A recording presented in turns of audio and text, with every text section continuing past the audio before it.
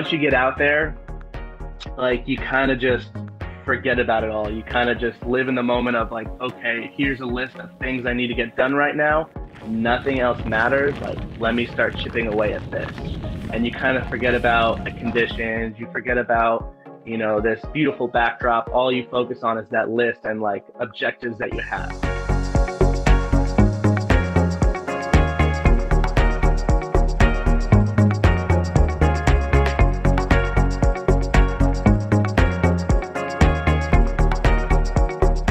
Was the hardest thing I've ever done.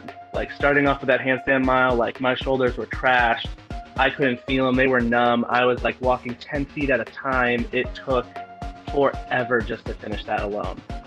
Typically, like handstand walks, I'm very proficient at them. I can walk pretty much whatever distance unbroken, but like I was moving five and 10 feet. Like sometimes I'd fall right down as soon as I kicked up.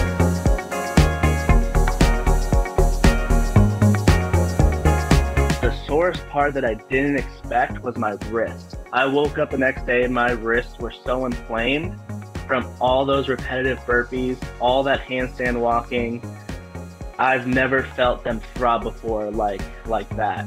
Normally wrist like flexion, we can bring our hands up like this. I think the day after I couldn't move my wrist past this point.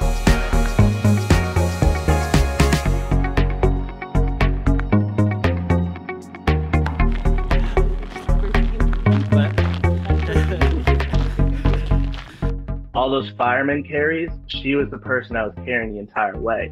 And that was actually a great, refreshing break for the entire marathon itself because having her on my shoulders as we're just running across, for she was involved in three of those miles. So we were just joking, ripping with each other the entire time.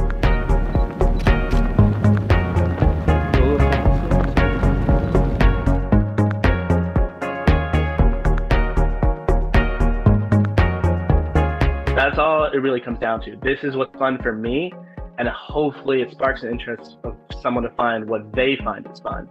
I've been getting a bunch of new messages from people saying, I love what you're doing, I love what you represent. Like this pushed me to do this for a mile and this for a mile. And it may not be on my level of fitness, but that's totally fine. As long as they're moving, that's the whole goal of this.